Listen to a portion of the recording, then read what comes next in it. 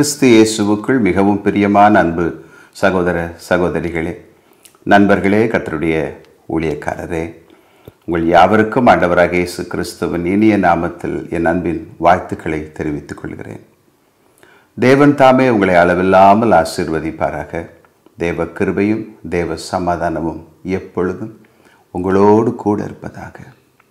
அவர் தாமே உங்கள் கையின் பிரயாசங்கள் எல்லாவற்றையும் ஆசீர்வதித்து அதை வர்த்திக்க பண்ணி உங்களையும் உங்கள் பிள்ளைகளையும் உங்களுக்குண்டான எல்லாவற்றையும் தம்முடைய கண்ணின் மணியைப் போல காப்பாராக.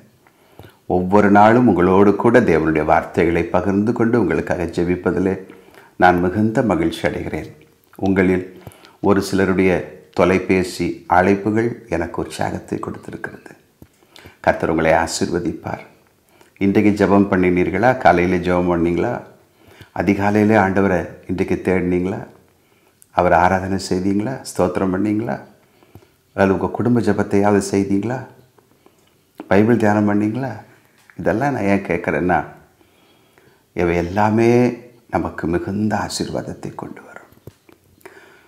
நம்மை சிருஷ்டித்தவரை நம்மிடத்தில் அன்பு கூர்ந்து நமக்காக தம்மையே ஒப்பு கொடுத்தவரை ஒவ்வொரு நாளும் நம்மை நடத்துகிறவரை நாம் அதிகாலையிலே தேடும்போது அந்த நாளெல்லாம் அவருடைய கிருபை நமக்கு போதுமானதாக இருக்கிறது இல்லையா? அவருடைய பலன் இல்லாமல் அவருடைய ஒத்தாசை இல்லாமல் அவருடைய கிருபை இல்லாமல் நம்ம எந்த நாளையுமே ஃபேஸ் பண்ணுறது ரொம்ப கஷ்டம். நம்முடைய பலம் ரொம்ப குன்றினது. நம்ம பலம் ஒன்றுமே இல்லை. யோபு பாடுகள் வழியாக போகும்போது சொல்கிறாரு என் பலன் கற்களின் பலனோ?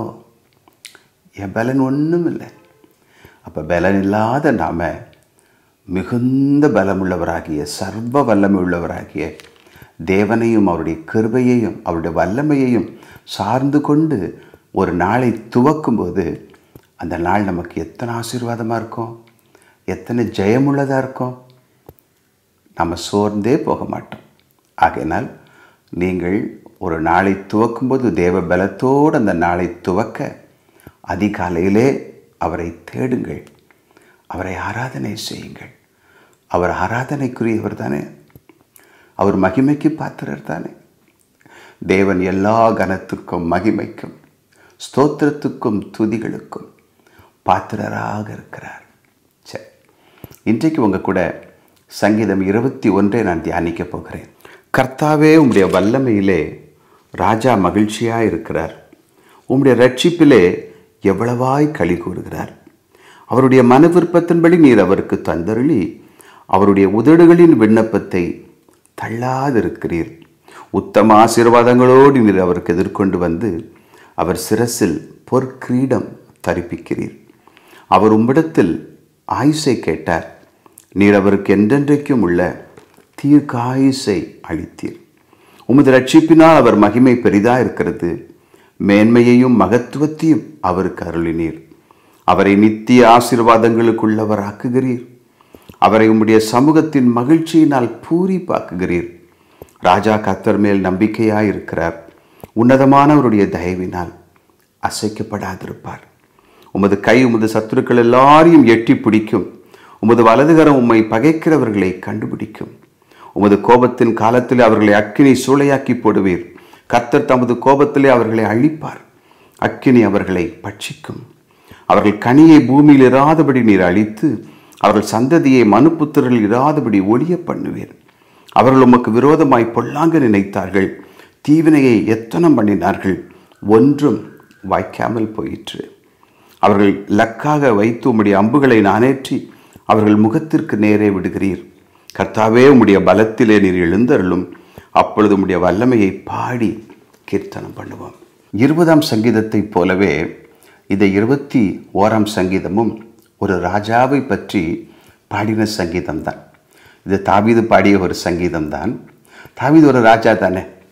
முழு இஸ்ரவேலுக்கும் ராஜாவாக தேவன் அவரை அபிஷேகம் பண்ணினார்.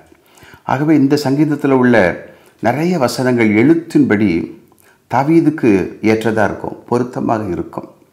ஏன்னா நிறைய யுத்தங்களை பண்ணவர் தாவீது. கர்த்தர் அவரோடு கூட இருந்த அந்த யுத்தத்திலெல்லாம் ஜெயத்தை கொடுத்தார். தாவீதின் ஜெபங்களுக்கெல்லாம் தேவன் பதில் கொடுத்தார். இல்லையா? தாவீதுக்கு பூரண ஆயுசை தேவன் கொடுத்திருந்தார். எவ்வளவு சத்துருக்கள் இருந்தாங்க தாவீதுக்கு? நினச்சி பாருங்க. அவங்க கூட இருந்த சத்துருக்கள் எத்தனை பேர்? யுத்தம் செய்தபோது பெலிஸ்தியர் இன்னும் எத்தனையோ பேர் அமலேக்கியர். அவங்கள எல்லாத்துக்கும் விரோதமாக எழும்பி யுத்தம் பண்ணார். தேவனுடைய யுத்தங்களை நடப்பித்தவர்னு சொல்லி பைபிளில் போட்டிருக்கு. அவர் கர்த்தருடைய யுத்தங்களை நடப்பித்த ராஜா அப்படின்னு பைபிள் எழுதப்பட்டிருக்கு தாவீதை குறித்து. தாவீது செய்த ஜபங்களுக்கெல்லாம் தேவன் பதில் கொடுத்தார். தாவீதை தேவன் பாதுகாத்தார். அது மட்டுமல்ல தாவீதுக்கு நல்ல ஒரு பூரண ஆயுசை தேவன் கொடுத்தார். இப்படி தாவீதை குறித்து வசனங்கள் ஒரு சில வசனங்கள் எழுத்தின்படி அவருக்கு பொருத்தமாக இருந்தாலும் கூட இந்த சங்கீதம் நாம் ஆழமாக தியானிக்கும் பொழுது நம்முடைய ஆண்டவராகிய இயேசு கிறிஸ்தவையே குறித்து எழுதப்பட்டதாக என் கண்களுக்கு தெரிகிறது. பாருங்க நான் வாசிக்கிறேன் அதன் பின்பு தியானிக்கிறேன். நல்லா கவனிங்க. அந்த முதல் வசனத்திலேருந்து பாருங்க. கர்த்தாவே உடைய வல்லமையிலே ராஜா மகிழ்ச்சியாக இருக்கிறார். பைபிளில் ரொம்ப அழகாக எழுதப்பட்டிருக்கு. அப்போ சிலர் பத்தாம் அதிகாரம் முப்பத்தெட்டாம் வசனத்தில் தேவனவரை வல்லமையினாலும் அபிஷேகத்தினாலும் நிரப்பியிருந்தார். தேவன் அவரோடு கூட இருந்தபடியினால் அவர் நன்மை செய்கிறவராயும் பிசாசின் பிடியில் அகப்பட்ட யாவரையும் குணமாக்குகிறவராயும் சுற்றித் தெரிந்தார்னு போட்டிருக்கு. அப்போ தேவன் அவருடைய குமாரனாகி இயேசு கிறிஸ்துவுக்கு இஸ்ரவேலின் ராஜாவுக்கு நம்முடைய நித்திய ராஜாவுக்கு நித்தியமான ராஜ்யத்தின் ராஜாவாக இருக்கிற ராஜாக்களுக்கெல்லாம் ராஜாவாக இருக்கிற ராஜா தானே அவர். ரொம்ப அழகாக போட்டிருக்கும் பைபிள் அவளோட ராஜ்யத்துக்கு முடிவே இராது. முடிவே இராது. An everlasting kingdom king of kings of an everlasting kingdom என்றென்றும் நிலைத்திருக்கிற ஒரு ராஜ்யத்தின் ராஜா நம்முடைய இரட்சகராகிய இயேசு கிறிஸ்து. அப்போ தேவன் அவரை வல்லமையினாலே நிரப்பியிருந்தார். இங்கேயும் அதான் போட்டிருக்கு. ராஜா உம்முடைய வல்லமையிலே மகிழ்ச்சியாக இருக்கிறார். உம்முடைய ரட்சிப்பிலே எவ்வளவாய் களி கூறுகிறார். அவருடைய மன விருப்பத்தின்படி நீர் அவருக்கு தந்தருளி. அவருடைய உதடுகளின் விண்ணப்பத்தை தள்ளாதிருக்கிறீர். இதை நம்ம போன சங்கீதத்தில் தியானம் பண்ணோம். ஆண்டவராக இயேசு கிறிஸ்து செய்த ஜபங்கள் எவ்வளோ முக்கியமானவைகள். அவர் இந்த பூமியிலே நம்மை போல மனிதனாக வாழ்ந்த நாட்களில் எவ்வளவு அதிகமாய் தம்முடைய பிதாவாகிய தேவனை நோக்கி ஜெபம் பண்ணி கொண்டே இருந்தார் தெரியுமா? எப்ரேயர் ஆக்கியோன் ரொம்ப அழகாக சொல்கிறாரு அவர் மாம்சத்தில் இருந்த நாட்களில் தம்மை மரணத்தினின்று ரட்சிக்க வல்லவரை நோக்கி பலத்த சத்தத்தோடும் கண்ணீரோடும் ஜெபம் பண்ணினாராம். ஜெபம். அவர் தேவனை சார்ந்து வாழ்ந்தார். தம்முடைய பிதாவை சார்ந்து வாழ்ந்தார். அவருடைய ஜபங்கள் எல்லாம் கேட்கப்பட்டது. நாம் ஜெபிக்கிறோமா? நாம் நல்லா ஜெபிக்கிறோமா? நமக்கு நெருக்கம் வரும் பொழுதெல்லாம் தேவ சமூகத்தை நோக்கி பார்க்குறோமா? டெய்லி ஜெபிக்கிறோமா? தேவன் செய்த நன்மைகளுக்காக ஆண்டவரை ஜெபத்தில் நன்றி சொல்லுகிறோமா? ஒரு காரியம் செய்வதற்கு முன்பு ஆண்டவர்கிட்ட கேட்டு ஜெபித்து அந்த காரியத்தை செய்கிறோமா? ஆனால் ஆண்டவராக இயேசு கிறிஸ்து அப்படி செய்தார். அதிகாலையில் இருட்டோடே போய் ஜெபம் பண்ணினார்னு போட்டிருக்கு. மாலை நேரங்களில் அவர் ஜெபம் பண்ணினார்னு போட்டிருக்கு. இரவெல்லாம் ஜபித்தார்னு சொல்லி பைபிளில் போட்டிருக்கு. அதனால் ஆண்டவராக இயேசு கிறிஸ்து ஜெபிக்கிறவராக இருந்தார். அவருடைய ஜபங்களுக்கெல்லாம் தேவன் பதில் கொடுத்தார். அவருடைய ஜபங்களுக்கெல்லாம் தேவன் பதில் கொடுத்தார். பாருங்கள் சிலுவையில் கூட அவரை அறைந்தவர்களுக்காக அவர் ஜெபித்தார். தாங்கள் செய்கிறது என்னதென்று அறியாமல் இருக்கிறாங்கன்னு. அவரை சிலுவையில் அறைந்தவங்க ரோமர்கள். பிதாவே இவர்களுக்கு மன்னியும். அது ஒரு ஜெபம் தானே? அவங்க செய்கிறது என்னன்னு தெரியாமல் செய்தாங்க. நீங்கள் வரலாறில் பார்த்தீங்கன்னா ரோம நகரம் அந்த ரோம சாம்ராஜ்யம் முதலாவது பெரிய எழுப்புதல் அடைந்துச்சு.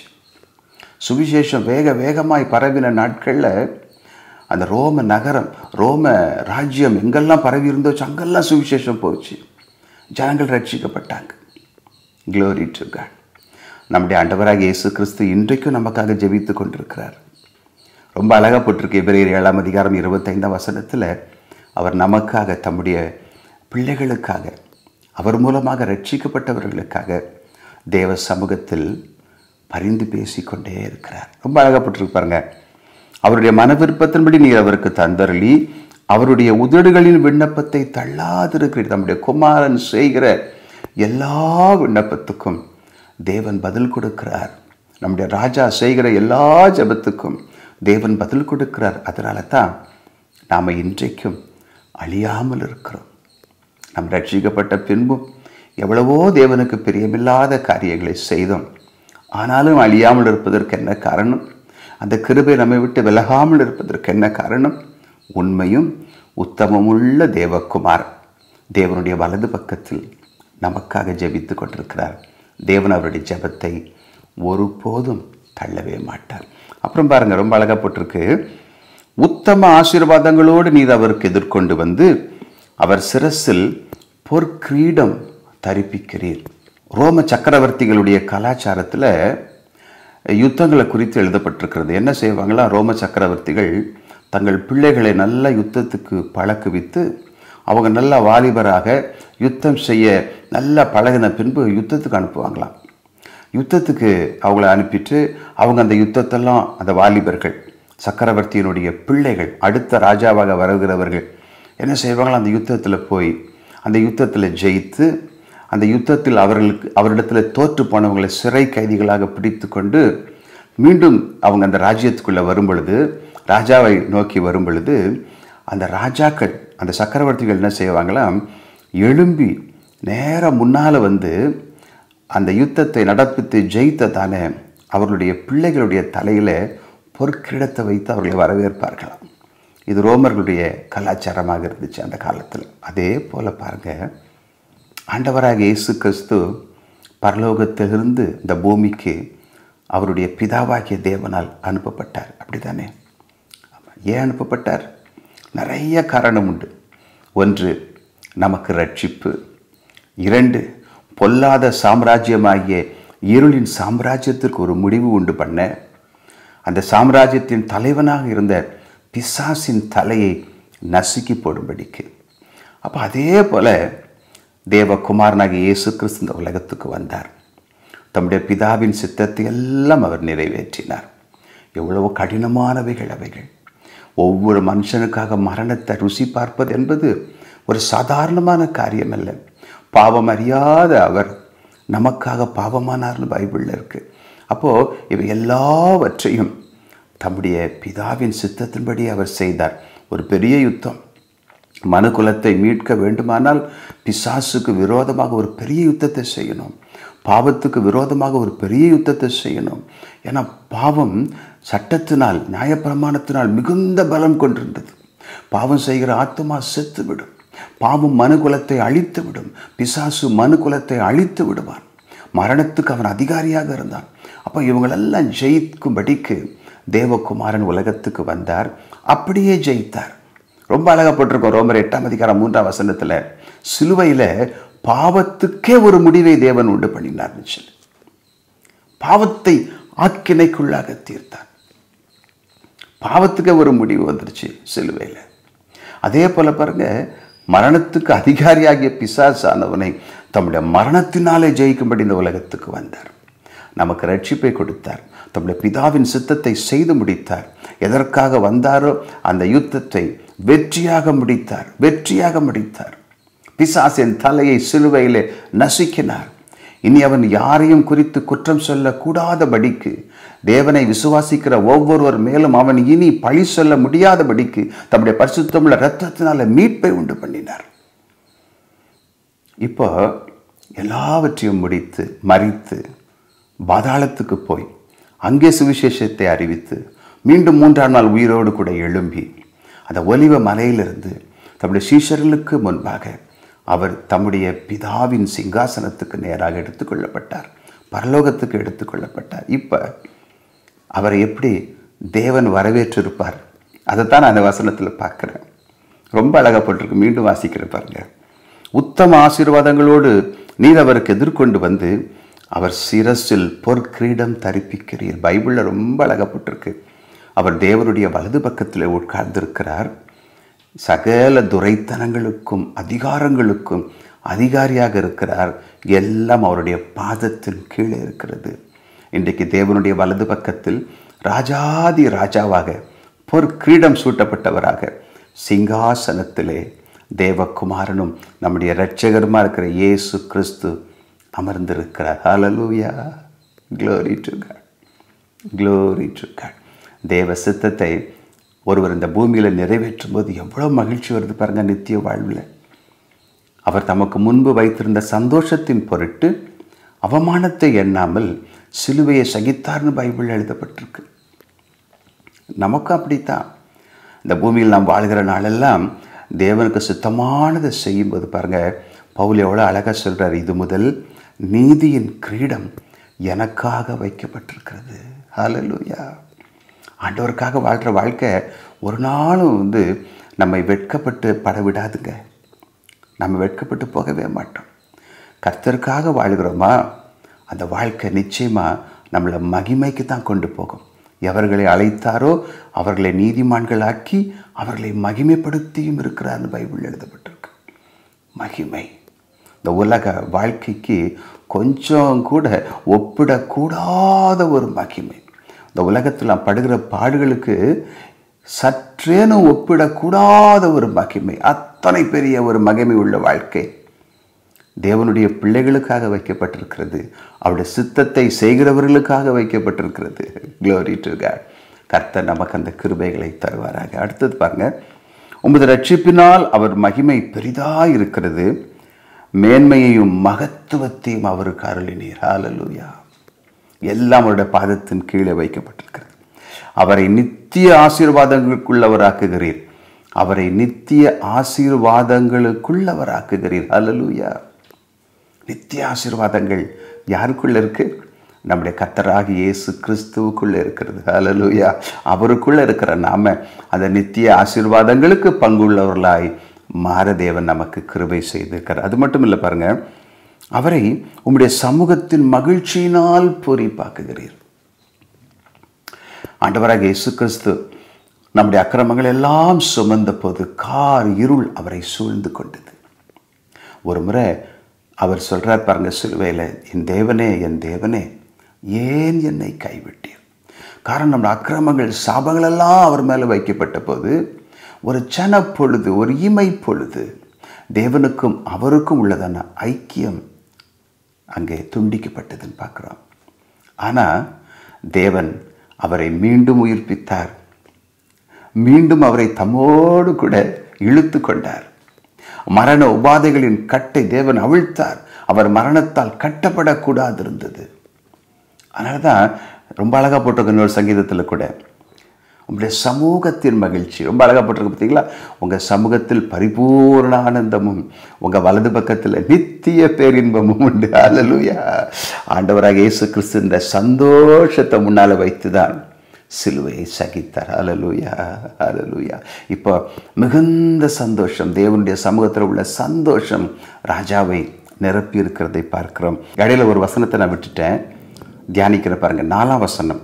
அவர் உம்மிடத்தில் ஆயுசை கேட்டார். நீர் அவருக்கு என்றென்றைக்கும் உள்ள தீர்க்காயுசை அளித்தீர்.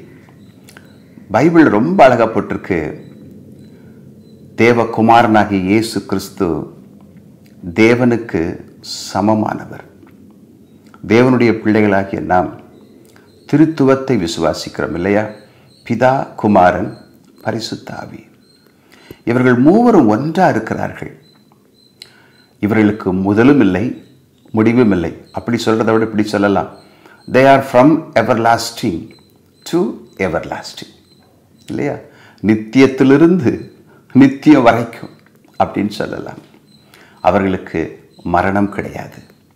தேவனுக்கு மரணம் கிடையாது. அவர் ஒருவராய் சாவாமை உள்ளவராக இருக்கிறார். ஆண்டவராக இயேசு கிறிஸ்து அத்தரிசனமான அதாவது காணக்கூடாத தேவனுடைய தற்சுரூபமாக இருக்கிறார். அப்படித்தான் பைபிள் எழுதப்பட்டிருக்கு. சரி இப்பொழுது அவர் மனிதனாக இந்த உலகத்துக்கு வந்தார் இல்லையா? நம்மை போல மாம்சமும் இரத்தமும் உள்ளவராக இந்த உலகத்துக்கு வந்தார். சிலுவையிலே அறையப்பட்டார். அவர் தம்முடைய ஆத்துமாவை மரணத்திலே ஊற்றினார். ஆத்தும மரணம் எவ்வளவு பயங்கரமானது. பாவம் செய்கிற ஆத்துமா சாகும்னு பைபிளில் போட்டிருக்கு. நம்முடைய அக்கிரமங்களெல்லாம் தன்மேல் சுமந்த ஆண்டவர் தம்முடைய ஆத்துமாவை மரணத்திலே ஊற்றினார் பைபிள் எழுதப்பட்டிருக்கு. மாம்சத்திலே கொலையுண்டார் மறித்தார் நம்மை நம்மைப் போல சாதாரண மனிதனைப் போல அவரும் சிலுவையிலே தம்முடைய ஜீவனை விட்டார் அப்படின்னு பைபிளில் போட்டிருக்கு இல்லையா? ஆனால் பாருங்க எபேராக்கியோன்னு சொல்கிறாரு தம்மை மரணத்தினின்று ரட்சிக்க வல்லவரை நோக்கி அவர் பலத்த சத்தத்தோடு கூட ஜெபித்தார். அவர் தேவனை நோக்கி ஜெபம் பண்ணினார். அப்போ தேவன் அவருடைய மரண உபாதைகளின் கட்டை அவிழ்த்தார்னு போட்டிருக்கு. இப்போ அதையும் இதையும் கனெக்ட் பண்ணுங்க. இதில் போட்டிருக்கு அவர் ஆயுஷை கேட்டார். அவர் தேவன் தம்மை மரணத்திலிருந்து விடுவிக்கும்படிக்கு தேவனை நோக்கி ஜெபம் பண்ணினார். ஆனால் தேவன் அவருக்கு என்றென்றும் உள்ள தீர்க்காய்ச்சை கொடுத்தார். ஹாலலூயா புதிய வானம் புதிய பூமி என்றென்றும் அசையாத ஒரு ராஜ்யம். நம்முடைய ஆண்டவராக இயேசு கிறிஸ்து தேவனுடைய குமாரன் தேவனுக்கு சமமானவர். உயிர் தெழுந்த அந்த மறுரூபம் அடைந்த அந்த சரீரத்தில் என்றென்றும் சிங்காசனத்தில் உட்கார்ந்து அரசால போகிறார். நாமும் அவரோடு கூட அந்த ராஜ்யத்தில் பங்கு பெற போகிறோம். நல்லா கவனிங்க. அந்த ஆளுகை எப்படி இருக்கும்? மனிதனாக அவர் இருந்து ஆளுகிற ஒரு ஆளுகையாக இருக்கும். அல்லூயா அதுதான் இங்கே ஒரு ராஜாவை குறித்து எழுதப்பட்டிருக்கிறது. ராஜாவை குறித்து எழுதப்பட்டிருக்கிறது. இந்த ராஜா நம்மை போல ஒரு மனிதன்தான் இயேசு கிறிஸ்து மாம்சமும் இரத்தமும் உடையவராய் இந்த உலகத்துக்கு வந்தார். சிலுவையில் மறித்தார் தேவனால் மீண்டும் உயிரோடு கூட எழுப்பப்பட்டார். எழும்பின் அவர் மறுரூபம் ஆன சரீரத்தில் இன்றைக்கும் இருக்கிறார். அந்த சரீரத்திலிருந்து அவர் ஆளுகை செய்ய போகிறார். நம்ம எல்லாரும் இந்த ராஜ்யத்தில் அவரோடு கூட இருக்க போகிறோம். நம்மள அநேகர் அவரோடு கூட சேர்ந்து ஆளுகை செய்ய போகிறோம். அந்த ராஜ்யத்துக்கு முடிவே இராது. அவருக்கு தேவன் என்றென்றும் உள்ள தீர்க்காயசை கொடுத்திருக்கிறார். புரிந்து கொள்ளுங்கள். இப்போ தொடர்ந்து பாருங்கள் ரொம்ப அழகாக போட்டிருக்கு. ராஜா கத்தர் மேல் நம்பிக்கையாக இருக்கிறார். உன்னதமானவருடைய தயவினால் அசைக்கப்படாதிருப்பார். உமது கை உமது சத்துருக்கள் எல்லாரையும் வெட்டி பிடிக்கும் உமது வலதுகரம் உம்மை பகைக்கிறவர்களை கண்டுபிடிக்கும். உமது கோபத்தின் காலத்திலே அவர்களை அக்கினி சூளையாக்கி போடுவீர். கர்த்தர் தமது கோபத்திலே அவர்களை அழிப்பார். அக்கினி அவர்களை பட்சிக்கும். இன்னும் ஒரு பெரிய யுத்தம்லாம் இருக்குது நீங்கள் வெளிப்படுத்தின விசேஷத்தை வாசித்து பார்த்தீங்கன்னா நிறைய யுத்தங்கள் எழுதப்பட்டிருக்கு. கடைசியாக அவருடைய வருகையின் பிரசன்னத்தினாலே அவருடைய நாசியின் சுவாசத்தினாலே பொல்லாத ராஜ்யத்தை அவர் அழிப்பார். அக்கினி பட்சிக்கும். சாத்தானுக்கு ஒரு முடிவு உண்டாகும். அந்தி கிறிஸ்துவுக்கு ஒரு முடிவு உண்டாகும். கள்ள தீர்க்கதரிசிக்கு ஒரு முடிவு உண்டாகும். எல்லா இருளின் ராஜ்யத்துக்கு ஒரு முடிவு உண்டாகும். ஒரு யுத்தம் நடக்கும். அதான் அங்கே போட்டிருக்கு. உமது கோபத்தின் காலத்திலே அவர்களை அக்கினி சூளையாக்கி போடுவீர். கர்த்த தமது கோபத்திலே அவர்களை அழிப்பார். அக்கினி அவர்களை பட்சிக்கும். ஹலலூயா ஸ்தோத்திரம். இந்த யுத்தத்தின் முடிவிலே எல்லா இருளையும் அகற்றின பின்பு என்றென்றும் அழியாத ஒரு ராஜ்யம். புதிய வானம் புதிய பூமி. இதில் ஒரு ம- நான் ஒரு சத்ருவை பற்றி உங்களுக்கு சொல்லணும். ஆண்டவராக இயேசு கிறிஸ்துவின் வருகையிலே மரணம் ஜெயமாக விழுங்கப்படும். பரிகரிக்கப்படும் கடைசி சத்ரு மரணம்னு பைபிளில் போட்டிருக்கு. அந்த மரணத்தையும் அவர் அழிப்பார். அந்த சத்ருவும் அவருடைய வருகையிலே அழிக்கப்பட்டு போகும். அதன் பின்பு தேவனுடைய பிள்ளைகளுக்கு நித்திய நித்தியமான மகிமையுள்ள ஒரு வாழ்வை அவர் கொடுக்க போகிறார். அவரோடு கூட வாழ்ந்து அவரோடு கூட ஆளுகை செய்ய போகிறோம். மகிமை நிறைந்த ஒரு வாழ்க்கை. க்ளோரி டு காட் நம்முடைய ராஜாவோடு கூட நம்முடைய ராஜாவோடு கூட ராஜாக்களுக்கெல்லாம் ராஜாவோடு கூட இருந்து நாம் என்றென்றும் அரசாளப் போகிறோம். அந்த ராஜ்யத்துக்கு முடிவு இராது என்பது மாத்திரமல்ல. அங்கே கண்ணீர் இருக்காது அங்கே கசப்பு இருக்காது அங்கே வேதனை இருக்காது அங்கே சாபம் இருக்காது இல்லையா? பாவம் இருக்காது. க்ளோரி டு காட் ஒரு மகிமை நிறைந்த வாழ்வு. அந்த வாழ்வுக்காகத்தான் பரிசுத்தவான்கள் தேவனுடைய பிள்ளைகள் இந்த பூமியிலே வாழும் ஒவ்வொரு வினாடியும் பிரயாசப்படுகிறோம். அதற்காகத்தான் வாழ்கிறோம். கர்த்தர் நமக்கு நிச்சயமாக அந்த வாழ்வை தருவார். அந்த வாழ்வை மாத்திரமல்ல அவரை ராஜாவாக ஏற்றுக்கொண்டு இரட்சகராக ஏற்றுக்கொண்டு இந்த பூமியிலே வாழ்கிற நமக்கு இந்த பூமியிலேயும் அவர் சமாதானத்தையும் ஆசீர்வாதத்தையும் கொடுப்பார். நெருக்கங்கள் வரலாம். பொதுவாகவே இருளின் ராஜ்யத்துக்கும் வெளிச்சத்தின் ராஜ்யத்துக்கும் பகை உண்டு தான் ரட்சிக்கப்பட்ட தேவனுடைய பிள்ளைகளுக்கு யுத்தம் உண்டு தான் உலகத்தில் உங்களுக்கு உபத்திரம் உண்டுன்னு ஆண்டவர் சொன்னாங்க உண்மை தான் ஆனாலும் அந்த யுத்தத்திலே அந்த உபத்திரவத்தில் அந்த நெருக்கத்திலே கர்த்தர் நமக்கு துணையாக இருக்கிறார். நம்முடைய தலையில் உள்ள முடியெல்லாம் எண்ணப்பட்டிருக்கிறதுன்னு பைபிளில் போட்டிருக்கு. யாரால சொல்ல முடியும்? ஒரு ராஜாவால் தான் அப்படி சொல்ல முடியும் இல்லையா? உங்கள் தலையில் உள்ள எல்லா முடியும் எண்ணப்பட்டிருக்கு. ஒன்று உங்களுக்கு சேதப்படாதுன்னு சொன்னாரே. தேங்க்யூ லார்ட் தேங்க்யூ ஜீசஸ் அந்த ராஜா நம்மோடு கூட இருக்கிறார். இந்த பூமியில் வாழ்கிற நாளெல்லாம் பயத்தோடு அவரை சேவிப்போமா? நடுக்கத்தோடு அவரை நினைத்து களி கூறுவோமா?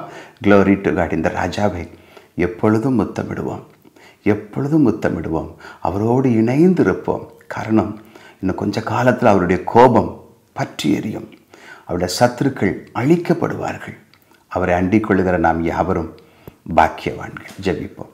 பரிசுத்தமுள்ள எங்கள் பரம தகப்பனே எங்களோடு பேசிய உடைய நல்ல வார்த்தைகளுக்காக உமக்கு ஸ்தோத்திரம். எங்கள் ராஜாவை குறித்து தியானிக்க நீர் எங்களுக்கு கொடுத்த எல்லா கிருபைகளுக்காக நன்றி சொல்லுகிறோம். தகப்பனே இப்பொழுதும் இந்த நிகழ்ச்சியை பார்த்து கொண்டிருக்கிற ஒவ்வொருவருக்காக அடியே ஜெபிக்கிற கத்திரவர்களை ஆசீர்வதியும் அவருடைய துக்கத்தை சந்தோஷமாக மாற்றும். கத்திரவர்களை அவர்களை பலத்தின் மேல் பலனடையும்படி செய்யும். அவருடைய கண்ணீரை துடைத்து விடும் ஆண்டவரே. நீங்கள் அப்படியே செய்கிறதற்காய் நன்றி சொல்லுகிறோம் ரட்சகர் இயேசு கிறிஸ்துவின் நாமத்தில் ஜெபிக்கிறோம் எங்கள் நல்ல பிதாவே ஆமேன் ஆமேன் God bless you my faith, I stand in your presence, Lord. Lead me and show me the way. For there is none like you, Lord, to save me, and I declare your name. Faith, I stand in your presence, Lord. Lead me and show me the way. For there is none like you, Lord, to save me, and I declare your name. It's Jesus Christ, the Savior, the way, the truth, and the life. It's Jesus Christ, the Savior, the way, the truth, and the life.